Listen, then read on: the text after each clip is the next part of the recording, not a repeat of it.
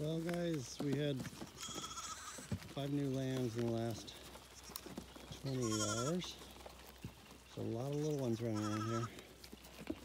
Hopefully the big ones will be nice to them. All right, well, you guys have a good day.